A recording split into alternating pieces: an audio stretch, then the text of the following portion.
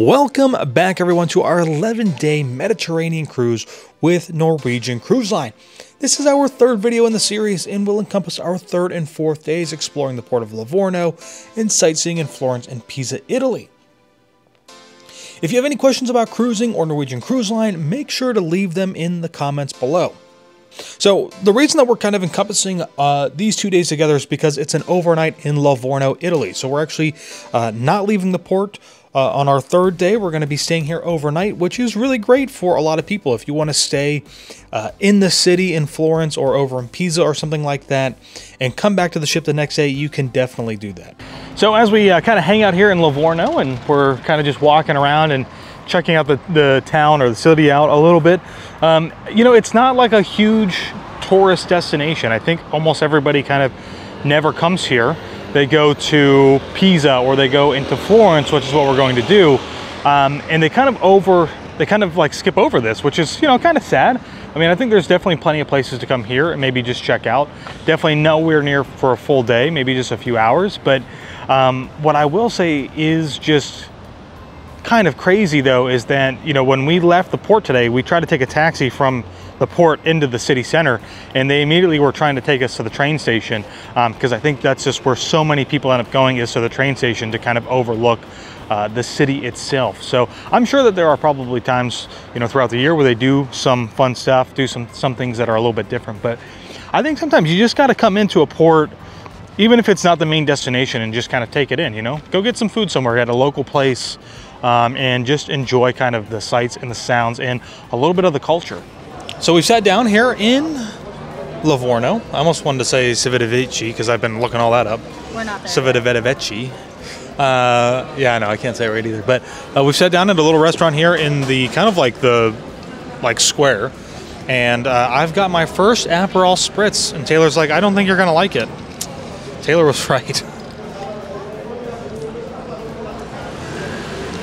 It's a little bitter, not overly sweet, but Take the water. They definitely brought us some water. We've got some bread and, uh, you know, hopefully some good food. So I don't think it's uh, overly expensive for kind of being in like a more touristy location. But like I said earlier, I don't know that like Livorno is overly touristy because a lot of people will skip this place and go right to the train station and head to Pisa or Florence. So let's try it out and see. I think they're pretty good. They're pretty soft and tender. They're much smaller than what I would have expected. say what you got? Oh yeah, um, it is a gnocchi with a red, uh, like a, a creamy sauce, pesto sauce uh, with the gnocchi. So um, it's pretty good. They're pretty tender. They're very very small little gnocchis. You know, I think most restaurants back home we get them and they're like larger uh, and sometimes very very fluffy, just straight potato. This almost seems like they might have a little bit of flour in them to make them a little bit more of a pasta. But all in all, pretty good. Finished eating. Taylor, how was your risotto? You didn't finish it. I didn't finish it because I don't have. Oh yeah, I do. I didn't finish it because I'm so hot. I'm sweating. It is pretty warm out. What about your Aperol spritz? Aperol spritz is good though. Crystal and Bryson have basically down theirs. We're, oh, No. looks like it was good. It was good. So some left. Bryson, how's that ravioli? It did look pretty good. Amazing. Nice and light and refreshing. Very good. Hold on. How's that Aperol spritz over there? It's excellent. So good. I tried to hide it, but I couldn't. Do you know what this tastes like? Great. Let's hear it. Go to Epcot. Go to Club Cool. Beverly. and have a Beverly. That is what this tastes like. That is the that is the Italy's soda. Yes. is. Soda. This is Maybe exactly. that's the club soda they put in here. This is what this tastes like to me. What if it was? So we've officially uh, docked here in Livorno, and it is uh, a pretty bright, sunny day. It's no, no clouds. It's uh, decently temperatured at the moment, and uh, we are making our way to the train station so that we can go see the Leaning Tower of Pisa, uh, which is kind of exciting. It's something that's a little bit different. Hey Josh, are we there yet? Dad, are we there yet? Let's just go this way.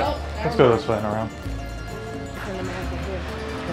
This is it. Oh, we finally made it. We made it. I knew you would. It's been 14 days and six hours. You just crossed the, the Oregon Trail.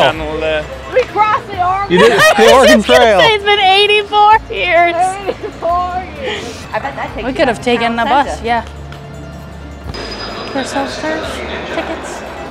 Now, the next challenge for us was just getting our tickets. Uh, once we arrived at the station, the system is fairly easy to understand, and you're going to hear this over and over again when you're buying tickets. Beware of pickpockets. In case of need, ask only Watch out for pickpockets. staff for more information. Uh, okay, so I think we want the 926. Yeah. Only valid on selected day and must be validated before departure. 819, 926, right? 926. 26. Invalid card. All right, This is not taking Hold on. Let cards. me let me just buy all of ours. What's not working? It's Either not, of your cards? It keeps saying everything is invalid for some reason. But for whatever reason, we kept having an issue Which with our might be why cards. It just, people got out of line. I don't know, they, it just wouldn't accept it. And after about five tries at multiple different kiosks, we finally got it to work. And with that, we were off. But something you need to know we don't know how other European rail stations work, but with the Italian rail lines, you'll need to validate your tickets before you actually board the train. Uh, and if you miss doing this, it could actually cost you a lot, so don't forget to do that. You'll see these little machines. You just insert your ticket and it puts a little punch in into it, and uh, that's the validation. So the train ride from Livorno to Pisa should only be about 15 minutes, and it cost us about five euros per couple. Um, it was a little bit over that, but roughly about that price. So not too bad. And the train that we're on right now is really, really nice. Now they're not all the same. Some of the trains are very different. Um, the one that was actually in before this one, uh, which was delayed, looked a little bit different. So I think that these are like really nice, and uh, you know, it's an easy mode of transportation. However, here's the thing to think about. Um, something that Norwegian did to us, which was really sneaky, was they didn't tell us that, like, you know, getting around and things like that, needing to take the bus. So we took the bus to the city central.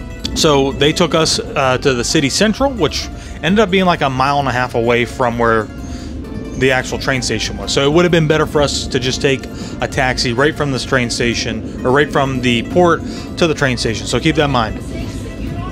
Exactly right. So if you're coming into Livorno uh, on your cruise, just take a taxi pretty much wherever you want to go.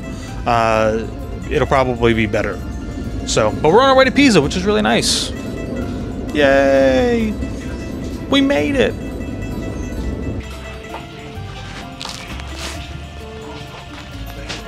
So once we got off at the train in the Pisa Central station, we realized we had about a 40 minute walk. And we didn't realize this until later on, but there's actually a station much closer to where Pisa's at. And so if you're going to be docking in Livorno and you're going to take the train, make sure that you go to Pisa San Rossore. Uh, that is a station that is only about 10 minute walk from the Leaning Tower of Pisa rather than the 40 to 45 minute walk that we had walking from the Central station. We made it! I gasped a little when I saw it. Can you take one on my phone from lower? Because I might not be able to get the whole thing in the picture on my Instagram. Oh, Josh, watch out. like literally so many people, it's so cute. we can back up a little bit if we need to. Should I, Yeah. should I help them hold it up? Since they literally stood like shoulder to shoulder with me. Look at me on the side with my mouth covered. Yeah, no. Don't walk on the grass. There's always somebody. There's literally chains and fences. it wasn't just perfect, it was excellent. I think that's my favorite, like my favorite one now. The view is just, because you can see it's slanted. It's actually quite, like, quite tilted. I knew it was leaning, but, but it's really leaning. So we found a little restaurant right near the Leaning Tower of Pisa, and we've ordered some food, some drinks. Um, we're kind of sharing some things because we'll probably end up eating some food later as well. Um, is, once we're finished eating, we're heading back to the train to go to Florence. Um, but we are starving. Um, of course, had to get an Aperol spritz because Italy. And there are some pizzas on the table. We did order pasta to share. So after eating our lunch, which was fantastic and great, we didn't really talk too much about it because we were starving and ate it super quick. We started making our way back to the second train station that I had mentioned earlier, and this one was only about a 10 minute walk. Now we still had to uh, make a connection in the Pisa Centrale station. So we were going back to the main station no matter what, and this just was an easier walk for all of us. And uh, again, I cannot stress to you guys enough how easy it is to use the trains here in Italy. Uh, it's just, it's really, really simple. It's fairly cheap. And they are well known for just consistently always being on time. So, pretty cool. Uh, and again, super easy. We made a connection in uh, Pisa Centrale, and then it was about an hour or 45 minutes to Florence from Pisa.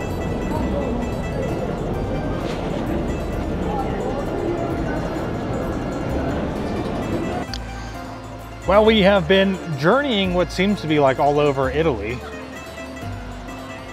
And uh, we have now taken a train from Pisa to here in Florence. And we're just gonna be walking around. We're gonna check out a few of the sites before we make our way back to the ship because it is uh, unbelievably hot right now. It's about, I think it's like almost up to like 98 degrees. So it's getting really warm. Uh, and we all need to be drinking a lot more water, which we aren't doing. Hello, hello. uh, a big water and uh, regular Coke. These are six for five. So actually, I'm gonna grab a couple of these real quick. Is this a bear sweatshirt? Oh, go, It says bad attitude. go. You need it. No, it's a bear. That's definitely a teddy bear. Look at That's him. right there. Look at him. He looks like Josh. Wonder how much that is. Somebody I know definitely needs that. Bad boy. That was a bad boy. Oh, they're right there. 35. That's so cheap. You should get it. Oh, not for Josh. I'm being funny. I only buy shirts that are like ninety $9. nine and under. That is all he will pay. Wow. Wow. I did not know this is what we were coming to see. Holy. Wow, My that's uh, God. that's actually pretty beautiful looking. Oh, it's all marble. Oh my God. I think so.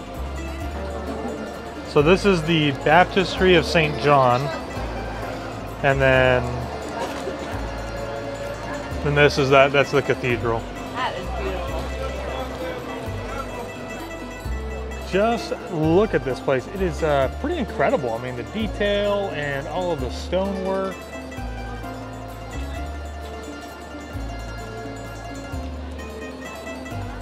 This is just absolutely amazing how they have the technology to be able to build and sculpt all of this stuff. So we've made it to, I think, probably like one of the most known or kind of uh, sought after places here in Florence, um, which is the uh, Florence Cathedral here. And it is an absolutely amazing building. I mean, just look at the stonework, look at the details. Uh, it's enormous. It's so big. It's so huge. And, you know, unfortunately, we're probably not going to go inside of it today because uh, time wise, uh, also, um, I think it costs maybe about 25 euros per person to go inside and take a walk around um, and walk around. So I think we're probably going to skip that, but it is still something really cool. And I would highly recommend that you like make the train ride out. Like there's so much other stuff to do here in Florence itself, but uh, you know we're not going to get to do that much today. Um, but still, nonetheless, I mean, super cool. This is like when we did that river cruise last year. These are the kind of cathedrals that I had imagined that we were going to get to see um, at each of the big cities. So it's it's pretty cool. So. So I stand corrected. This there is a line and it ends right here, and this is to get into the uh, into the to the uh, the church here for free. So it doesn't cost you anything extra to go into this one entrance. Um, it's huge, but let's take a look. So this is the line. We're going to follow it kind of background here over to the right hand side because it's fairly long and it's not really moving.